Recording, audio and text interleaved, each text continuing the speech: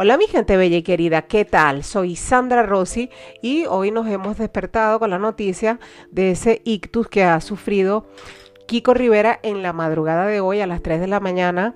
Eh, le sucedía esto a Kiko supuestamente el fin de semana, no se encontraba bien producto de un catarro, pero este, en esta madrugada del jueves al viernes pues se ha ido al hospital y allí han determinado que era este, un ictus que había sufrido Kiko Rivera. Entonces su mujer se encargaba de decir que no era para alarmarse tanto, eh, intentaba quitarle hierro al asunto, pero hoy Kiko Matamoros en mm, Salva me decía que tampoco había que pintarlo como una cosa sencillita que le había sucedido porque supuestamente Kiko no se sentía la mitad de la cara. Hay una cosa que me sorprendió mucho, yo sé que Kiko tiene problemas de gota y, era diabético, pero también tiene temas de tensión y recuerdo es que él había dicho que tenía también problemas de triglicérido, colesterol, o sea que tenía todo fuera de sitio. Y yo no entiendo cómo una persona que sabe todo esto no es capaz de, cuidarse, ¿no? De, y hoy, por ejemplo, en Sálvame ya intentaban como insinuar o dejar caer que esto le sucedió a Kiko por todos los problemas que tiene con su madre. Yo creo que esto es una cosa muy bajuna. Si te pones a sumar, 2 más 2 son 4, si no te cuidas, es probable que te sucedan estas cosas porque se te tapan las arterias. Eh, obviamente que los problemas también tienen mucho que ver, pero hay cosas en la vida, insisto, en que se pueden evitar. Eh, eh, él podía desde hace tiempo, cuando había perdido muchísimo peso, pues intentar seguir por esa línea y cuidarse. Pero bueno, eh, el tema es que Irena Rosales ha aclarado cómo se encuentra Kiko Rivera. Dice que está bien, que él es fuerte, que es joven y se ha cogido a tiempo. Ah, se ha cogido a tiempo porque se fueron cuando él se sintió un poco extraño, pues decidieron irse al hospital. Entonces ella pues explicaba esto a los medios de comunicación a la salida del hospital. Además ha explicado que es importante que él esté tranquilo y controlado.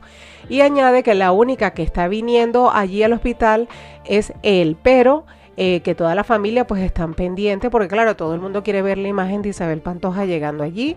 Hoy en Sálvame decían, especialmente Kiko Matamoros, que Isabel Pantoja no tenía la más mínima intención de ir, inclusive Chelo García Cortés decía lo mismo. Entonces, em, la mujer de Kiko Rivera ha podido visitar a Kiko al mediodía y ha contado que Kiko no puede tener teléfono por su salud, ya que tiene que estar tranquilo. Eh, se estaba diciendo también, y recuerdo que esto también se había dicho con María Teresa Campos cuando le dio el ictus a ella, que hay que estar pendiente los próximos tres días porque al parecer a, muchas personas eh, le repite el ictus, ¿no? Pasado tres días.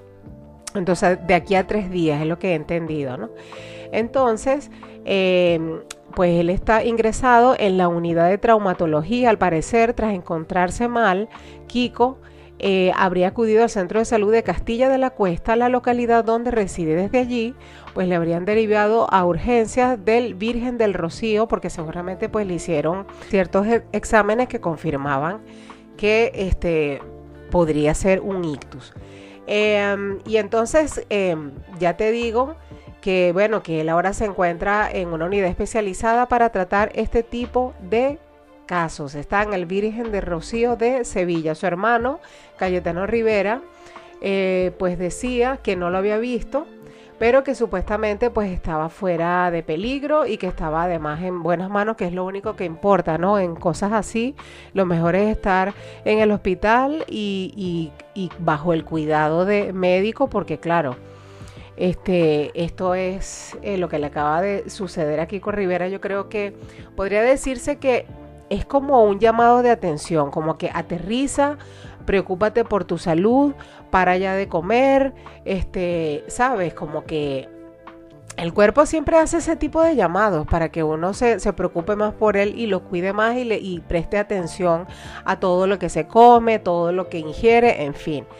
Eh, y esto, bueno, ya veremos mañana qué, sucede, qué más se dice sobre el estado de salud de Kiko Rivera, eh, su hermana este, Isa Pantoja, que casualmente la semana pasada estaría hablando de que Kiko Rivera aún le debía un dinero de hace tiempo y que ella había pensado pues interponerle una demanda por todas esas declaraciones que él ha hecho en revistas.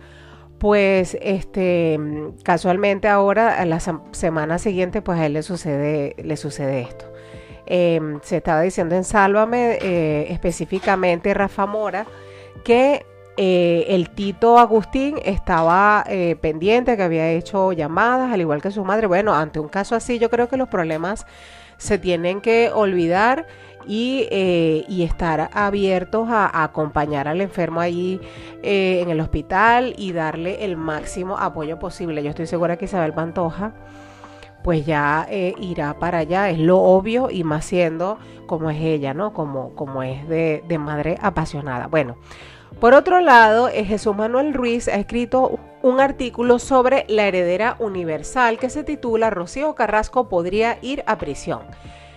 El abogado de José Ortega Cano ha hablado con Es Diario para aclarar la situación de su cliente José Ortega Cano con la hija de su mujer fallecida Rocío Jurado. Su testimonio no puede ser más rotundo. Eh, Enrique Trebolle ha concedido una entrevista para el periódico Es Diario, donde aclara la situación de su cliente José Ortega Cano con la hija de su mujer fallecida, Rocío Jurado. Trebolle ha explicado a ese periódico cómo se encuentra el proceso judicial que ha comenzado hacia Rocío Carrasco Moedano. Se ha emprendido una querella contra la señora Carrasco por delito de falsedad documental en documento privado, artículo 395 del Código Penal, pena de seis meses a dos años, y por delito de presentación de documento falso en documento judicial, artículo 396 del Código Penal, pena inferior en grado a la señalada en el artículo 395 del Código Penal de tres meses a, de tres meses a seis meses. Entonces, de ser condenada Rocío Carrasco, podría ir a prisión por potestad del juez. Según el Código Penal, las penas inferiores a dos años son susceptibles de suspensión de condena a artículo 80 del artículo penal, salvo que haya antecedentes penales. En este supuesto, pues el juzgado valorará caso por caso artículo 80 primera del Código Penal es el caso de Isabel Pantoja, que con, mm, que con condena de dos años ingresó en prisión, entonces se habló de justicia ejemplarizante. En las palabras del director técnico del proceso judicial, que a continuación relata, reside el posible delito de Rocío Carrasco, los sedicentes eh, documentos que se dicen aparecidos, este letrado los ignora. El único que conoce es el que se presentó y consta en el acta levantada del día 29 de octubre del año 2021 del que se nos proporcionó copia. Efectuando un informe pericial caligráfico, se concluye que la letra objeto análisis no es de doña Rocío Jurado y por ello se presenta querella por lo anteriormente comentado. El abogado Enrique Trebolle se le pregunta que por qué vía penal y no civil para el proceso contra Carrasco. El ámbito de actuación en mi dilatada carrera profesional es el derecho penal, aunque hay otros casos como los que afectan al derecho al honor, intimidad y propia imagen que, por su relación con la dinámica del derecho penal, nuestro despacho se ha hecho cargo ante los tribunales. La querella ya se presentó y está pendiente de resolución judicial firme, según comenta el abogado Enrique Trebolle. Don José Ortega Cano es una persona de bien, creyente y querido por la ciudadanía, que solo desea vivir tranquilo junto con su familia. Desde luego está sufriendo inmerecidamente injustos ataques a su integridad moral y personal, y este letrado pondrá todo su esfuerzo procesal para que resplandezca la verdad. Esto me encanta esta frase, que el letrado pondrá todo su esfuerzo procesal para que resplandezca la verdad, puntualiza y comenta la relación de su cliente con la desaparecida Rocío Jurado. Su, relación con doña Rocío Jurado siempre fue de amor y respeto recíprocos, desde que se conocieron hasta el fin de su vida, de la vida de doña Rocío Jurado. Aquí no caben versiones maledicentes, esta es la verdad y así fue transmitida por la gran cantante en reiteradas intervenciones que constan en las hemerotecas de nuestro país. Pues esto lo ha escrito Jesús Manuel Ruiz hoy mismo a las 3 de la tarde, lo ha subido al chismógrafo y este, esto es lo que hay, aunque en la vanguardia eh, yo estuve viendo que la que hace, la que va a llevar a cabo la demanda es Gloria Camila, ¿no? esta continuación de esta demanda, sobre todo por el tema de la falsificación de esos documentos que ella mostró en la docuserie. Ya sabemos que el fin único de esta mujer es destruir a la familia, la imagen de toda la familia y no le importa pues cometer este tipo de errores obvios y no le importa que la lleven ante la justicia para que demuestre si lo que ella pues está contando en la tele es verdad. O claro que estos periodistas y estos abogados pues evidentemente saben lo que hay y me encanta esto de que este abogado pues va a mover cielo y tierra para que se esclarezca todo y limpiar la imagen de su cliente José Ortega Cano.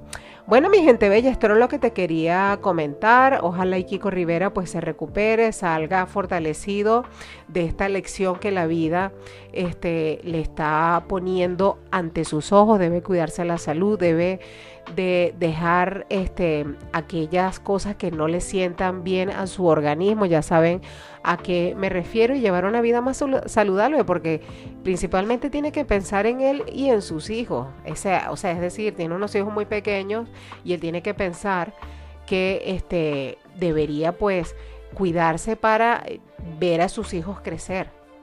No pensar en sí mismo, ah, no, quiero irme de juerga, quiero beber, quiero comer de todo. No, no, no, no, no. Cada día yo veo que las personas pues están teniendo una salud más frágil y Kiko Rivera pues eh, tengo entendido que tiene muchísimos malos hábitos, que le gustan mucho las comidas así ultra grasosas y ya pues con esto, con este susto, yo supongo que no, le quedará otra que abrir los ojos. Bueno, mi gente bella, si te ha gustado este vídeo, lo he hecho hoy bastante cortito porque resulta que en, en, un momentico tengo clase, pero bueno, espero que te haya gustado. Si te ha gustado, como siempre te digo, regálame tu like. Muchísimas gracias por todos los comentarios de cariño, por estar ahí siempre presente. Le mando un beso gigante a toda mi gente y nada, mi gente bella, nos vemos en el próximo vídeo. 好